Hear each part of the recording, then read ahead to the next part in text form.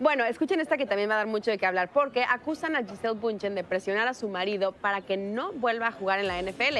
Como recordarán, Tom Brady anunció que jugaría una temporada más con los con los está Con la- aquí con, el- los Buccaneers, ajá, Ajá. y ella se puso furiosa y bueno, hasta dijeron que se iban a separar y que ella dejó de trabajar por los niños y bueno, muchos la están acusando de manipuladora, obvio, los fans de la NFL y dice que está usando a sus hijos para presionarlo ante las críticas.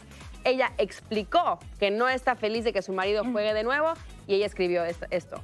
Es un deporte muy violento y yo tengo a mis hijos y quisiera que él estuviera más presente. Wow, yo creo que ella tiene toda la razón. Brady ya tiene 45 años, lleva jugando desde los hay- no hay 23 años aquí. y ya habían quedado en un acuerdo Ellos tenían un matrimonial. acuerdo, ¿no? En que Sí. iba a ser así. Cinco, Giselle. Cinco Giselle también. Sí, también. sí. Un acuerdo, Bueno, un acuerdo. Yo le voy a dar cuatro porque él, él tiene su profesión y ella también lo sabía, este, pero sí algo debe estar pasando ahí que nosotros no sabemos eh, y pues tiene Mirka, que ¿tú cuánto le das?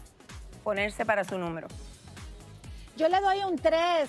Yo le doy un 3 porque recuerden que nosotros hablamos sobre esta nota la semana pasada o la semana antes pasada y precisamente estábamos hablando de que en los matrimonios tiene que haber un concilio, tiene que haber un poquito de paciencia. Claro. Él es famoso, él es un jugador, ella lo sabía, él también le hizo una promesa y de- él debería de haberla cumplido. Por eso me quedo en el 3 porque yo espero que puedan llegar a un acuerdo. Totalmente. Y los fans de la NFL y de los Buccaneers obviamente nos van a mandar por un tubo. Pero bueno.